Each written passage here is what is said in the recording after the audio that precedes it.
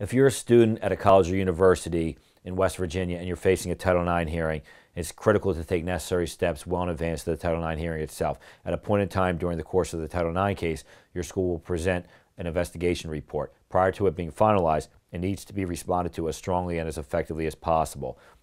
All relevant information, documentation, and evidence needs to be included in the final report at an absolute minimum.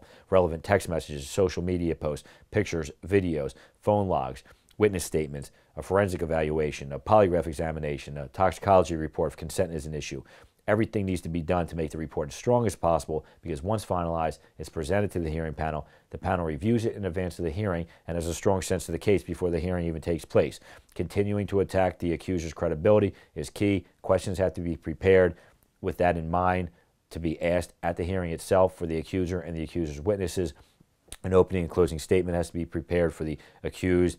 Uh, hearing panel itself has to be considered for potential bias and conflict. An experienced attorney advisor can help throughout a Title IX case and especially at a Title IX hearing.